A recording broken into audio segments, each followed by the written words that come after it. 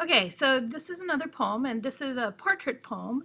It's like the image poem, uh, but specifically of a person doing something. So I have examples here, but I'm not going to show you those as they're too long to do by video, but I'll show you this one.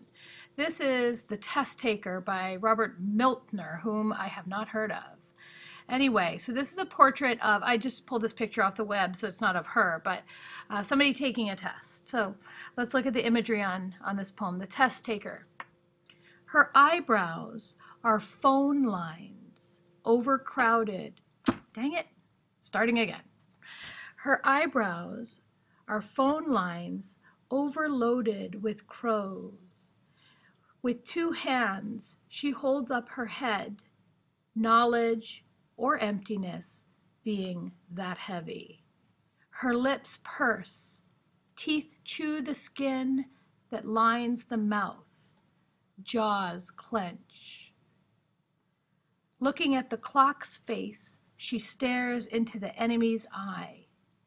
Her convict eyes see through both the chaplain on death row and the executioner who knows she smells freedom from out in the hall. Just an image of a girl taking a test. I love this image right here. Her eyebrow, actually it's a metaphor, right? Her eyebrows are phone lines overloaded with crows. So her eyebrows are sort of a straight line and pushed down, overloaded with crows. What a cool image.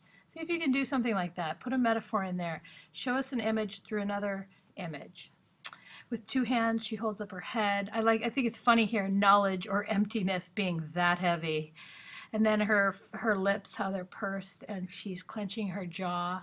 And then she looks at the face of the clock, and she has only a certain amount of time, and it's like she's looking at the enemy. And then her convict eyes, she wants to be bad. She wants to be bad. She sees both through the chaplain and the executioner, and she smells the freedom outside of the hall. This is a girl who wants to be out, not taking this test anymore.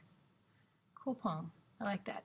All right, so see what you can do. Think of, see, a, see an image in your mind of a person doing something. Maybe your mother gardening, or maybe um, somebody doing the dishes, or maybe somebody cooking, or, yeah, it doesn't have to be a parent. Maybe it's your friend trying to flirt. That would be funny. Uh, what else could you do? Your teacher doing something. Don't go for me, please. Uh, what else could you do? Maybe a construction worker. We've got construction going on on campus. Look out the lanai and see what a construction worker is doing.